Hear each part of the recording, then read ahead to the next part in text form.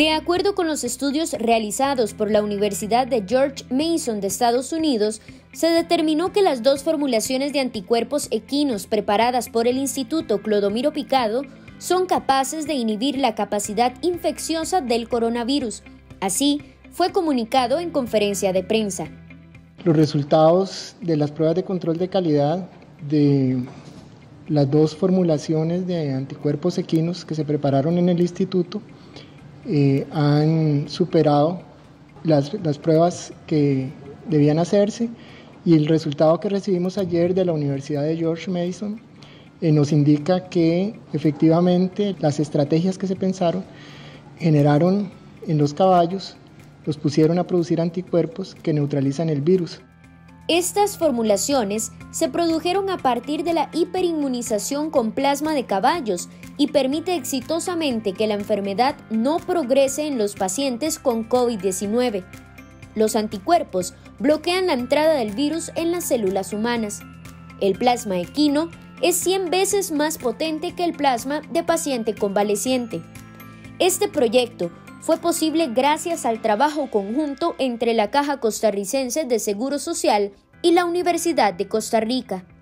Tenemos eh, un informe sumamente positivo con respecto al avance de este proyecto de crear terapias propias, nacionales y eficaces contra el COVID-19.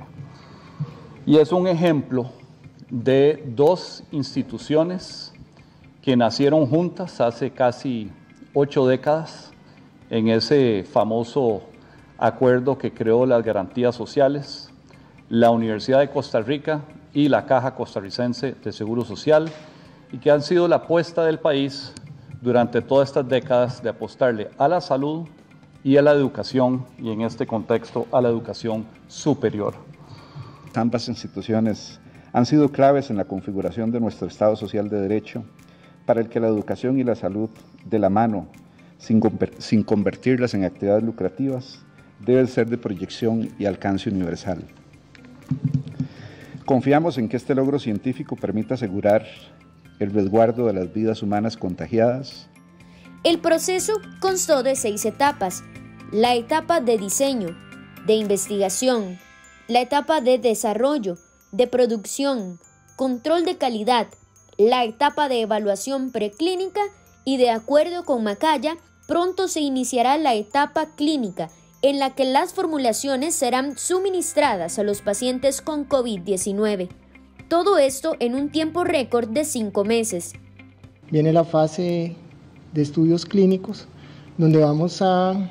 Hay un grupo de profesionales de la Caja Costarricense del Seguro Social y de la, de la Facultad de Medicina de la Universidad de Costa Rica que están preparando el protocolo del ensayo clínico. Esto es histórico.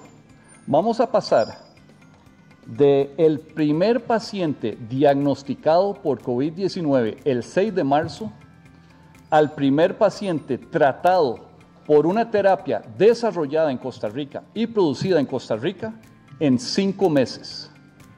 El estudio clínico permitirá conocer cuál de las dos formulaciones preparadas por el Instituto Clodomiro Picado resulta más eficaz en los pacientes.